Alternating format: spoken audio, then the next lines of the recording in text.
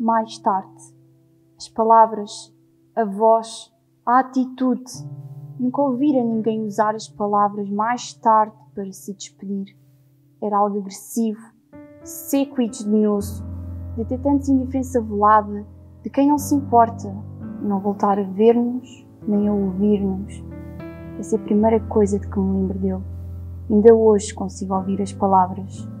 Mais tarde. Em finais do inverno do meu 17 ano, a minha mãe concluiu que eu estava deprimida.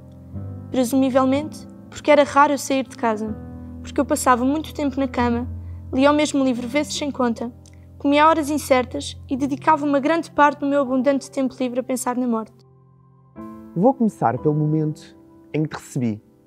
O momento em que te vi sobre a mesa entre os meus outros presentes de aniversário. Também estava lá quando foste comprado, mas isso não conta. Na sexta-feira, 12 de junho, acordei às 6 horas. O que não é de espantar, pois era o meu aniversário.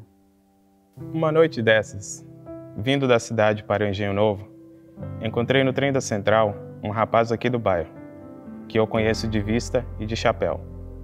Cumprimentou-me, sentou-se ao pé de mim falou da lua e dos ministros, e acabou recitando-me versos. A viagem era curta, e os versos podem ser que não fossem inteiramente maus. A casa que os maias vieram habitar em Lisboa, no outono de 1875, era conhecida na vizinhança da Rua de São Francisco de Paula e em todo o bairro das Janelas Verdes pela Casa do Ramaguete, ou simplesmente o Ramaguete. A gente vinha de mãos dadas, sem pressa de nada pela rua. Totoca vinha me ensinando a vida. Eu estava muito contente, porque meu irmão mais velho estava-me dando a mão e ensinando as coisas. Mas ensinando as coisas fora de casa, porque em casa eu aprendi descobrindo sozinho e fazendo sozinho. Fazia errado, e fazendo o errado acabava sempre tomando umas palmadas. Deitou-se a pensar nela, e apesar de continuar sozinho, foi com ela que acordou de madrugada ficou na cama uma hora, o que acontecia todos os dias, apreciando cada minuto daquele silêncio absoluto. Com o tempo, aprendera a escolher as paragens dos seus pensamentos e sabia bem aonde não queria regressar. Era certo que ela nunca lhe o dissera, mas, fugazmente, chegara a sentir-se aceite. Olá, rapazes e raparigas. Daqui fala-vos Ana Baker, ao vivo e em estéreo. Não posso crer. Nada de reposições, nada de bises. E, desta vez, os pedidos estão completamente fora de questão.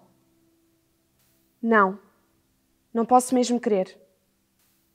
A Anna Baker suicidou-se.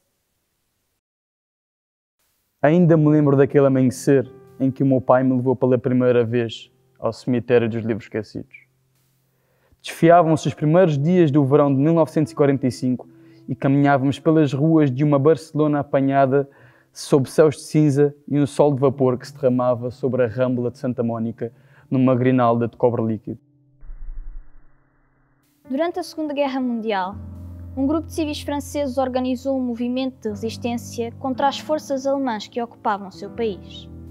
Muitos dos seus agentes mais úteis eram crianças e adolescentes. Alguns deles trabalhavam como batedores e mensageiros e outros fingiam ser amigos de soldados alemães com soldados de casa, recolhendo informações que permitiam à resistência sabotar operações militares alemãs. Morte e chocolate. Primeiro as cores, depois os humanos. É geralmente assim que eu vejo as coisas. Ou, pelo menos, tento. Eis um pequeno facto. Vocês vão morrer.